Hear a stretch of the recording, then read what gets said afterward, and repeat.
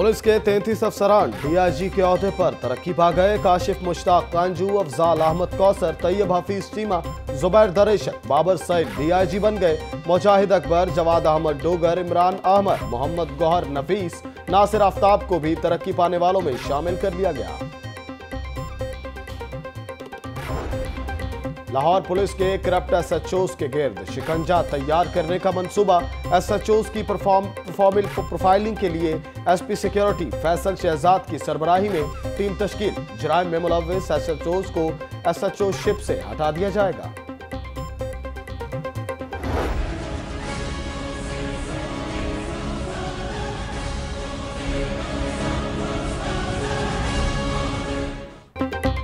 سانحہ Sahiwal C T D اہلکاروں کی صفاقیت کے مزید حقائق سامنے آ گئے۔ چاروں افراد کو انتہائی قریب سے اور سر میں گولیاں مارنے کا انکشاف۔ تیرہ سالہ بچی اریبا کو چھ گولیاں انتہائی قریب سے ماری گئیں۔ خلیل کی بیوی نبیلہ کو چار گولیاں لگی، ایک گولی سر میں ماری۔ خلیل کے جسم پر بھی سر سمیت گیارہ گولیاں برسائی گئیں۔ ڈرائیور زیشان کو بھی سر سمیت تیرہ گولیاں مار کر موت کی نیند سلا گیا۔ جہاں بحق ہونے والوں کی post mortem report Lahore news کو موصول۔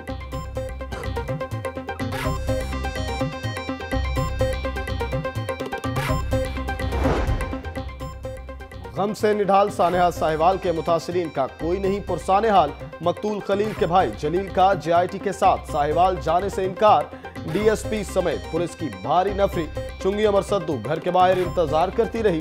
والدہ کی طبیعت ناساز ہے۔ ساہیوال نہیں جا سکتا۔ مدعی جلیل نے اپنے وکیل کو بھی صاف جواب دے دیا۔ سانحہ ساہیوال مقتولین کے گھروں میں غم کے ڈیرے اظہار تعزیت کے لیے آنے والوں کا سلسلہ جاری۔ لیگی رہنما پرویز ملک کہتے ہیں، ٹارگٹ کر کے قتل کیا گیا، یہ سی ٹی ڈی کی نالائکی ہے۔ پورا ملک اس کیس میں حکومت سے انصاف مانگ رہا ہے۔ میئر لاہور بولے، حکومت نے تو کہا تھا عوام کو دہلیس پر انصاف ملے گا، یہ ہمیں پہلا توفہ ملا۔ لاہور والوں معصوموں کی لاشیں اٹھاؤ۔ اے این پی کے رہنما میاں افتخار حسین کا بھی اہل خانہ سے اظہار تعزیت۔ کہتے ہیں ملوث افراد کے لواحقین سامنے پھانسی کا مطالبہ کر رہے ہیں۔ عوام سے اپیل ہے ایسے کیسز میں اٹھ کھڑے ہو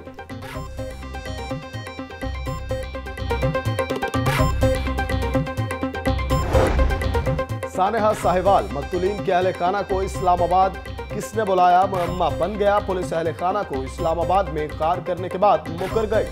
S H O Kot Lakhpat اور احتشام کے درمیان ہونے والی باتیں منظر عام پر آ گئیں۔ S H O Kot Lakhpat phone کر کے جانے کا کہتا ہے، آڈیو ریکارڈنگ سامنے۔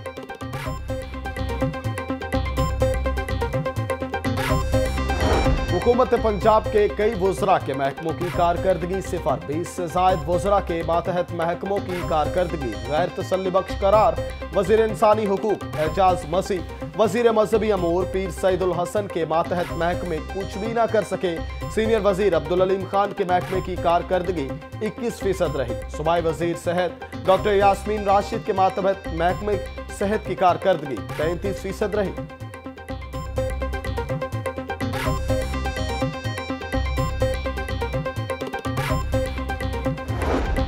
نیا پاکستان ہاؤسنگ پروجیکٹ پرانا فارم منسوخ فیز ون کے تین اضلاع کے لیے نیا فارم جاری کر دیا گیا، دو سو پچاس روپے پروسیسنگ فیس درخواست گزار کو دس ہزار روپے ٹوکن منی درخواست کے ساتھ جمع کروانا ہوں گے۔ قراندازی میں کامیاب نہ ہونے کی صورت میں ٹوکن منی واپس کر دی جائے گی۔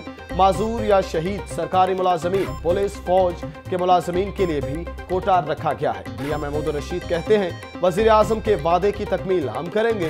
تمام ڈیولپمنٹ اتھارٹی کو ایک لاکھ یونٹ تعمیر کرنے کا ٹاسک دے دیا گیا ہے۔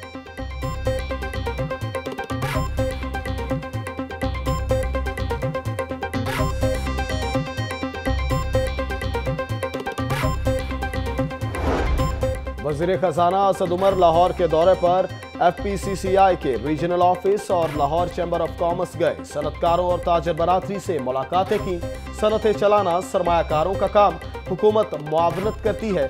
چھوٹے تاجروں کے لیے پورے ملک میں اسکیم لائیں گے۔ وفاقی وزیر خزانہ اسد عمر کا اعلان۔ بولے ریٹرن فائل کرنے کے لیے آسان طریقہ متعارف کروائیں گے۔ اسد عمر نے برآمدات بڑھانے کے لیے تاجروں سے تجاویز مانگ لی۔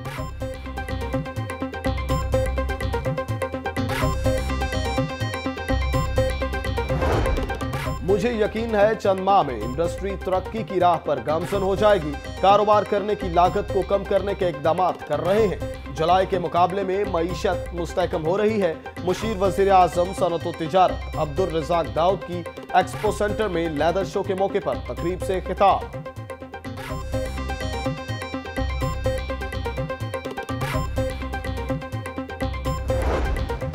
شکایات ملنے کے بعد ایف بی آر کو فیکٹریوں اور ملوں پر چھاپے مارنے سے روک دیا گیا۔ جلد پالیسی بنا رہے ہیں۔ وزیر مملکت حماد اظہر کی چیئرمین ایف بی آر جہاں زیب خان کے ہمراہ۔ تاجروں کو یقین دہانی۔ کہا سٹیل انڈسٹری کے بہت سے سنتکار ٹیکس ادا نہیں کر رہے۔ وزیر مملکت کی خام مال کی فہرست اگلے ہفتے تاجروں کو فراہم کرنے کا اعلان۔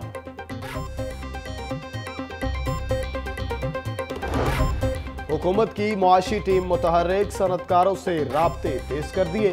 وزیر صنعت میاں اسلم اقبال صنعت کاروں کی مشکلات کے خاتمے کے لیے کوشاں پہلی سطح پر صنعت کاروں سے خود ملاقاتیں کی وفاقی وزیر خزانہ اسد عمر اور وزیر ریونیو حماد اظہر کی بھی ملاقاتوں کا اہتمام۔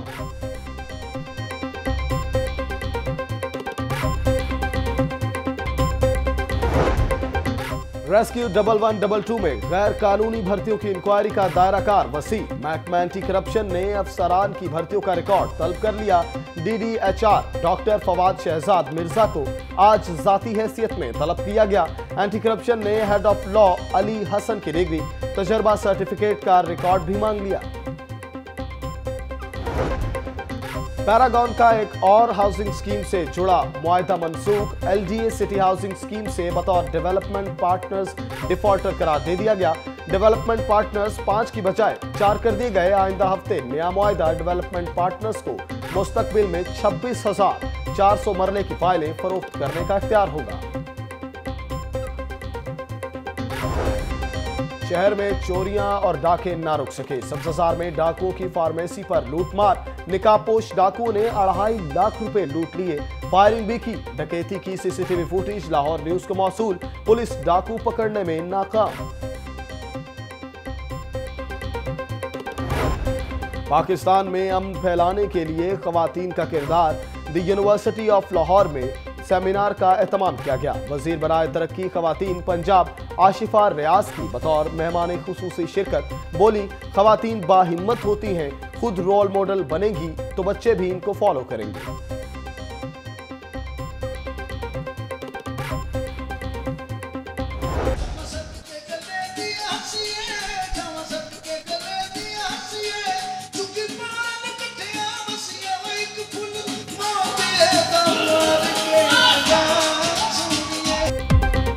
Pak Nepal women blind cricket series Alhamra hall میں ٹرافی کی رنگا رنگ تقریب اور رونمائی تقریب میں ملکی ثقافت کے رنگ نمایاں، روایتی کلچرل ڈانس پرفارمنس